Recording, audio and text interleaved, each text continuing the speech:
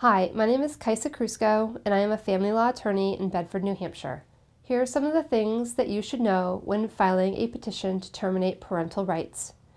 Your petition to terminate parental rights will need to set forth specific statutory grounds that allow for the termination of the parent's parental rights. A statutory ground means the facts which, under the law, will allow for the court to determine and issue an order of termination of parental rights. You can find these specific statutory grounds listed out in RSA 170C.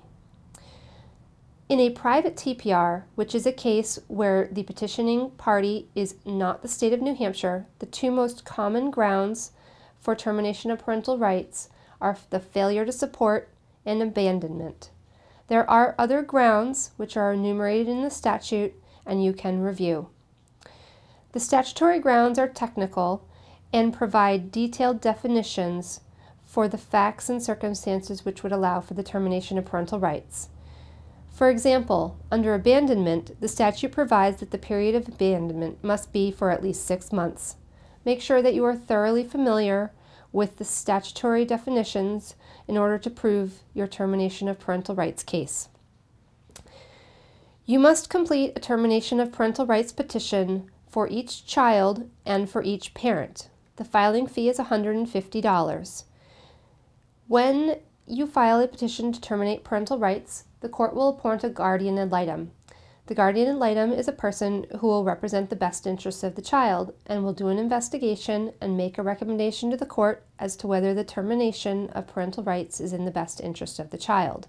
You should be prepared to pay for the guardian ad litem fees because the petitioner in the termination of parental rights cases is 100% responsible for the costs of the guardian ad litem.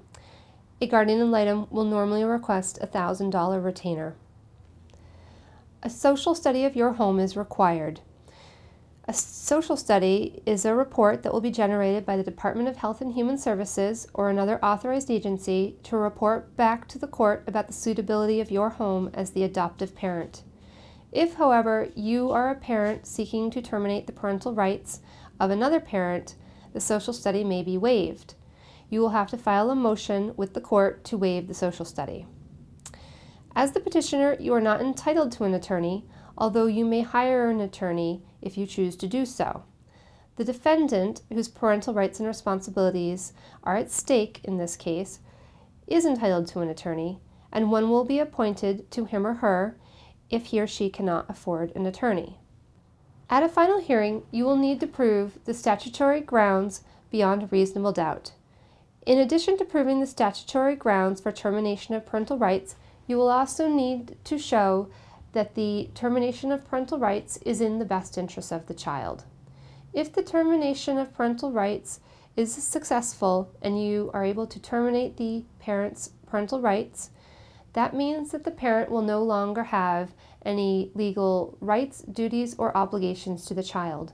This includes the duty to pay support and the right to reasonable visitation. If you have further questions about termination of parental rights, please feel free to contact my office by telephone, email, or through my website. Thank you for listening.